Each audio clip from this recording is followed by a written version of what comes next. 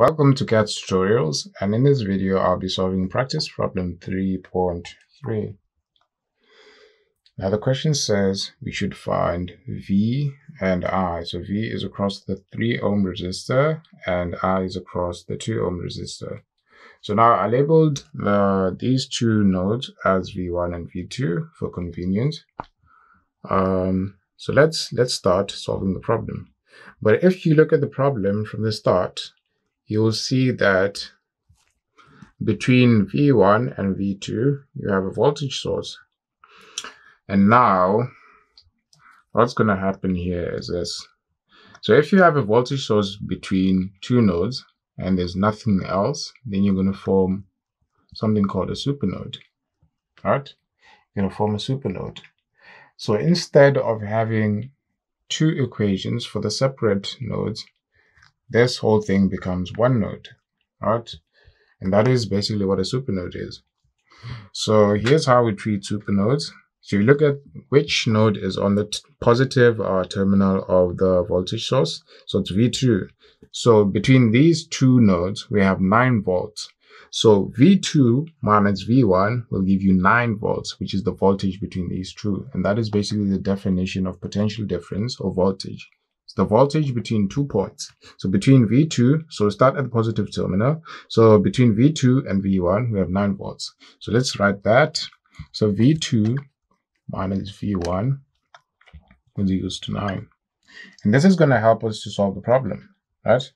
So now let's form the equation of a supernode. So all of this is taken as one node. And so we're going to have V1 minus going that way so we're going to have V1 minus 21. So we're going to have V1 minus 21 divided by the resistor value of 4, which is in this path here, right?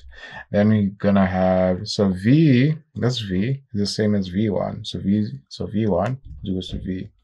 Because if you say V1 minus 0, that's where you get V.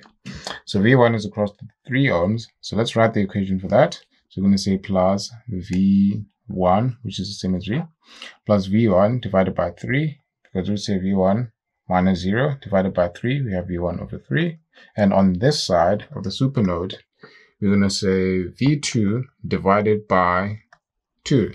So i is equals to v2 divided by 2. If we can just look, if we say v2 minus 0 divided by 2, we have v2 over 2. And that is the relationship between v2 and i. So this V2 is going to help us find I. Now finally, so we have plus V2 divided by 2. And now finally, we have V2 divided by 6 equals to 0, which is the current going here. Right? So now let's simplify this and solve for V1 and V2, and then finally solve for I. So multiplying through by 12, right? Let's use 12. So 3V1 negative 60 3 plus uh, 4v1 plus 6v2 plus 2v2 is equal to 0. Simplify further, we're going to have 7v1. We're going to have 8v2, right? 8v2. And that is going to be equals to um, 63 on the other side of the equation, right? And so we know that uh, v2 minus v1 is equals to 9 from up here. So we can just manipulate that to be v2 is equals to 9 plus v1. Right? We can just manipulate that into that. So substitute this v2 wherever we see v2 here. So it's going to be 7v1 plus 8 uh, multiplied by 9 plus v1 is equals to 63. And so we're going to have 7v1 plus 72 plus 8v1 is equal to 63. Adding these two, we're going to have 15 v1 is equals to um, 63 minus 72, which is negative 9. Right?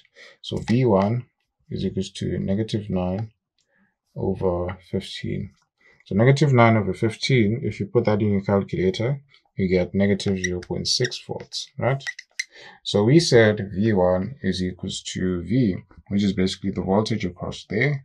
So V, we now have V. So V is essentially equals to negative 0.6 volts.